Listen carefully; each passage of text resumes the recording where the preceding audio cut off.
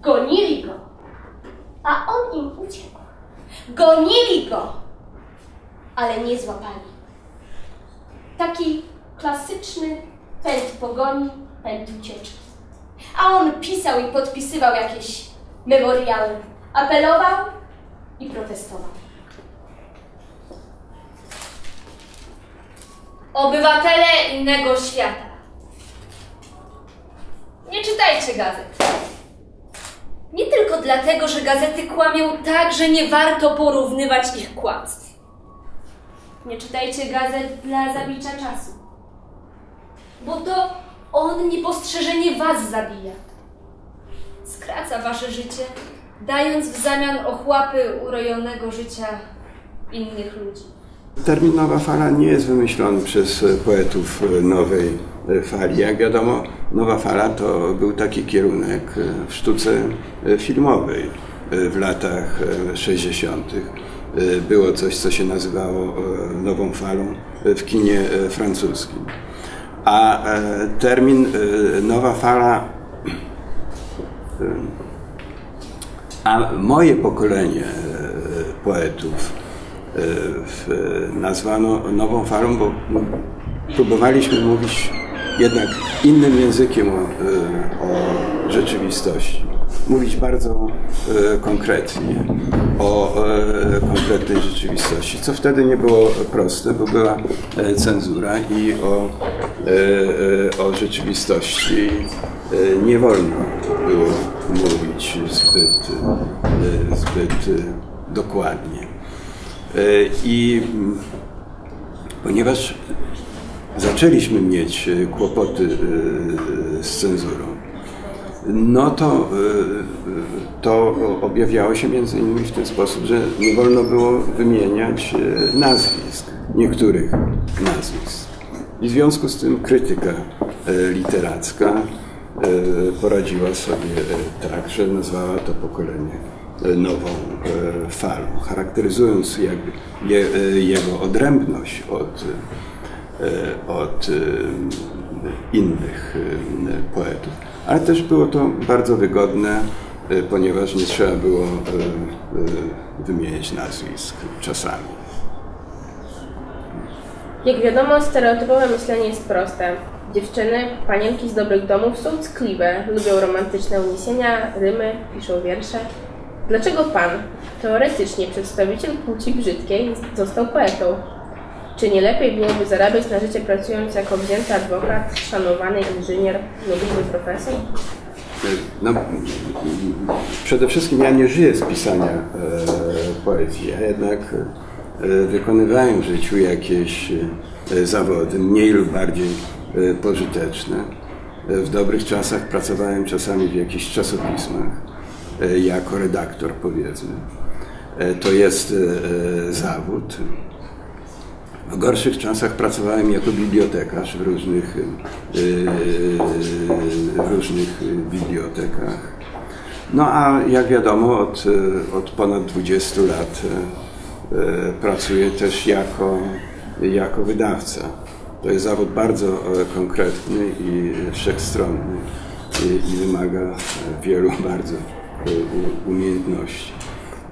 I, Natomiast pisanie poezji to jest zupełnie coś innego. Pisanie poezji to jest jakaś trudna do nazwania potrzeba duszy i, duszy i, i umysłu. Andrzej Franaszek w swoim felietonie napisał, że Ryszard Krynicki jest jednym z najważniejszych głosów we współczesnej poezji. W związku z takimi tytułami musi Pan brać wielką odpowiedzialność za swoje słowa. Ja, ja, ja, ja biorę odpowiedzialność za, za swoje słowa i, i dlatego niezbyt często drukuję. Naturalnie, naturalnie, naturalnie cieszy mnie to, co napisał Andrzej Franaszek o mnie, ale sam osobiście tego bym o sobie nie powiedział. I no tak, tu zawieszam. Na lekcjach uczymy się różnych funkcji poezji we współczesnym świecie, ale i dawniej. Mickiewiczowskie opisy dwóch stawów i szumiące lilie miały budować nastrój grozy. Herbertowskie strofy skłaniać do refleksji, a autoironia pani Szymborskiej do spojrzenia na siebie z dystansem. Jaką funkcję spełnia pana poezja? Czy ocala narody i ludzi?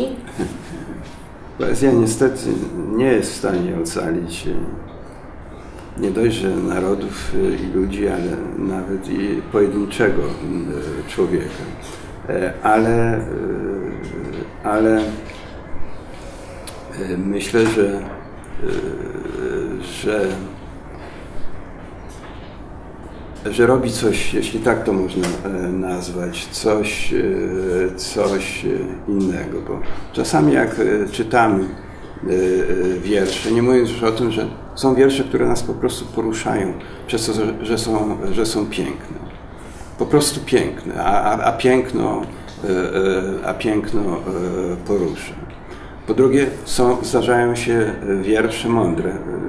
Niezbyt często, ale zdarzają się wiersze E, mądre, e, z których możemy się po prostu czegoś e, dowiedzieć. Zdarzają się wiersze, które niosą nadzieję.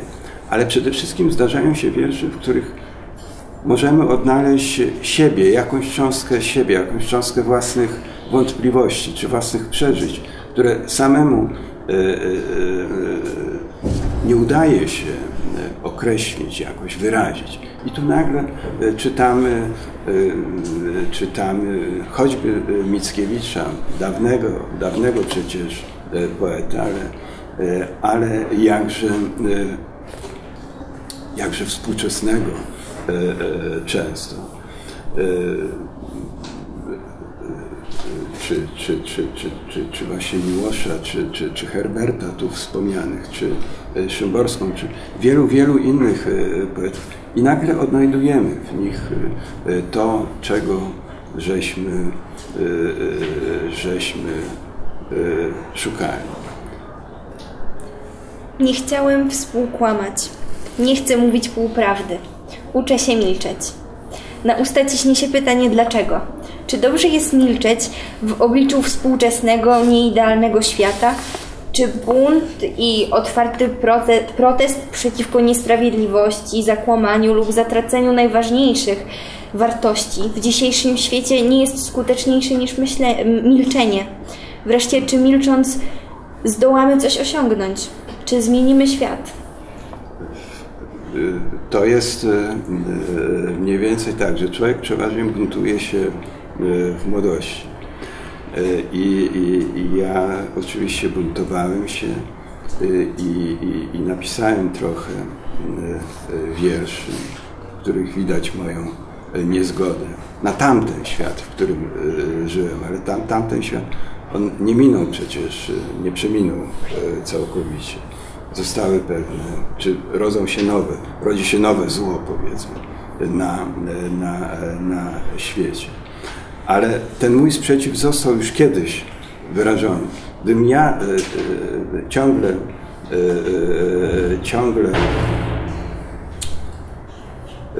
ciągle się buntował, powiedzmy, to bym jakoś powielał siebie, a poeci nie lubią się powtarzać. Ja w każdym razie do takich poetów należę, którzy szukają ciągle czegoś, czegoś nowego i y, którzy y, muszą się też uporać z ciągle nowymi y, problemami, prawda, ze światem, z sobą, z sobą samym. Więc nie mogę ciągle być tym starym, starym, czy też młodym Krynickim. Jak każdy człowiek jakoś się, jakoś się rozwijam. Więc, e, więc to, to, to jedno. Po drugie, e, po drugie, e, poezja jest stworzona z bardzo delikatnej materii, która nie zawsze przystaje, rzekłbym, do brutalnego, brutalnego świata. I są jakby inne sposoby żeby wyrazić własne niezgody na, na świat, czy inne media, powiedzmy, raczej inne, inne media. W czasach nowej fali istniała cenzura, w związku z tym te media były skrępowane, nie mogły, nie mogły, nie mogły spełniać swojej roli, prawda? I poezja trochę przejęła jakby rolę taką, jaką w, norm, w normalnym społeczeństwie spełnia, spełnia prasa, telewizja, inne, inne środki przekazu, bo to ich jest działanie, bo to one mogą reagować z dnia na dzień. Poezja tak nie reaguje, żeby napisać wiersz. Trzeba jednak znacznie więcej czasu i trzeba po prostu znacznie więcej też, też odpowiedzialności, żeby. Dwa tygodnie temu, przebywając w Lublinie, Kinga Dunin przyznała, że nie lubi poezji. Tam się nic nie dzieje, stwierdziła. Twierdzi pan, twierdzi, że poezja ma charakter grypserski. Aby zrozumieć wiersze, trzeba znać kolegów autora, być świadkami zdarzenia, jeść w tych samych barach, popijać w tych samych knajpkach. Czy uważa pan, że jest w tym trochę prawdy? Nie, to, to znaczy, to jest prawda Kingi Dunin. I, ale to nie jest, to nie jest prawda o, o, o poezji. Nie, nie dziwi, że ktoś nie lubi poezję, bo ja myślę, że poezję lubi nawet mniej osób niż dwie na tysiąc, bo gdyby lubiły dwie na tysiąc, jak pisze Wisława Szymborska, to, to przynajmniej wydawcy mogliby się z tego cieszyć, bo tomiki poezji mogłyby osiągać wtedy spore, spore nakłady, a przeciętny nakład tomiku poezji obecnie to jest 600-800 egzemplarzy. W kraju 38 czy iluś milionowym, prawda?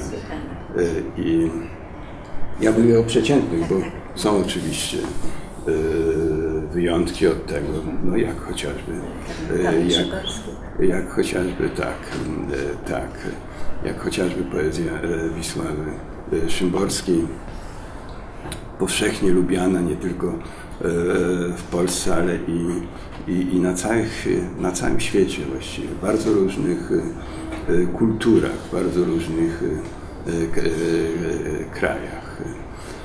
I, ale to, co pisze Kinga Dunin, to, to myślę, że to jest no, raczej takie felietonistyczne, felietonistyczne spojrzenie, gazetowe. I, ale naturalnie należy docenić przynajmniej szczerość